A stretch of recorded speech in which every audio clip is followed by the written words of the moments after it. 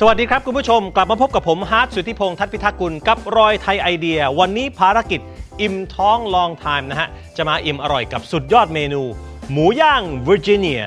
น้ำหมักต้มยำนำเนื้อหมูสันนอกนะครับขานะฮะตะไคร้หอมแดงนะครับพริกแดงอีกนิดนึงนะฮะครับพร้อมกับพริกไทย และเกลือขาดไม่ได้เลย รอยไทยต้มยำน้ำใสนะฮะ คลุกเคล้าให้ทุกอย่างเข้ากันนะฮะหมักให้เขาอิ่มน้ำสักประมาณ 1 ชั่วโมงครับ จากนั้นนำมาย่างได้เลย เตรียมกระทะให้ร้อนจัดเลยครับ ผมจะนำเอาหมูค่อยๆ วางลงบนกระทะนะฮะส่วนน้ำหมักนี่เก็บไว้ก่อนนะครับนำน้ำมันมะกอกนะครับราดลงบนเนื้อหมูเนี่ยนะครับบางๆ ด้านละประมาณ 3 นาทีนะครับ เมื่อได้เวลาพอสมควรแล้วนะครับ ลองพลิกดูเขาสักนิดหนึ่งนะฮะ ดูซิว่า โอ้โหได้เลยครับท่านผู้ชมนี่ฮะจากนั้นนำมะเขือเทศสีดานะครับ ลงมาในกระทะเลยฮะนำน้ำหมักหมูเมื่อสักครู่นี้นะครับ ค่อยๆเทนะฮะ